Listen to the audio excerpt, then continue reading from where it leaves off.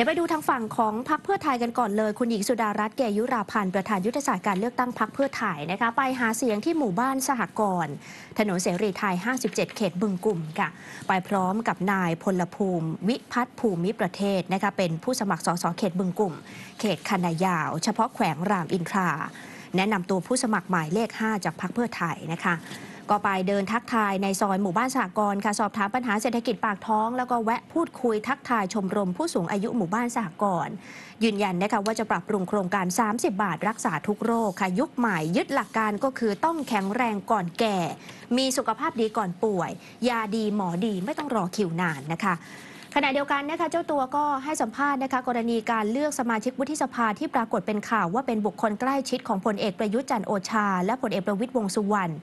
บอกว่ากระบวนการดังกล่าวเนี่ยถูกต้อง แล้วก็เป็นประโยชน์กับประชาชนส่วนรวมหรือเปล่า ยอมรับนะคะว่ากติกาการเลือกตั้งครั้งนี้มีความได้เปรียบเสียเปรียบพักการเมือง ในฝั่งผู้มีอำนาจที่มีสว250 คนเนี่ยคอยสนับสนุน ดังนั้นนะคะหากต้องการให้ตนเองเข้าไปรับใช้ 24 มีนาคมนี้ก็จะต้องไปเลือกพักเพื่อไทยให้มากพอค่ะ ความคาดเดานะคะ เพราะว่าพลเอกประยุทธ์ในฐานะหัวหน้าคอสช ก็ตั้งพลเอกประวิตยในฐานะรองหัวหน้าคอสชนะคะไปให้เลือกสวก็เลือกชื่อมาอย่างที่เราเห็นว่าเป็นแต่บรรดาในทหารและคนใกล้ชิดถามว่าการเลือกแบบนี้เนี่ย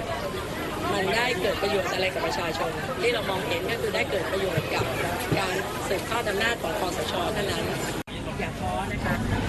ประชาชนอย่าท้อต้องออกไปเลือกกันให้มาก พอที่จะชนะสว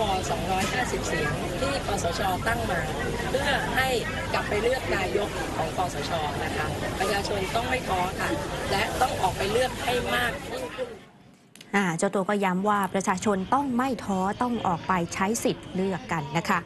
การลงพื้นที่ในวันนี้คุณอภิสิทธิ์เวชชาชีวะหัวหน้าพักประชาธิปัตย์ก็นำคุณพรพรมวิกิตเศษค่ะเป็นผู้สมัครของพักในเขตนี้ ก็ไปลงพื้นที่ขอคะแนนเสียงด้วย แล้วก็ไปเจอกันเข้าพอดีค่ะ กับคณะของคุณหญิงสุดารัตน์นะคะที่กำลังเดินทางเขาหาเสียงสนับสนุน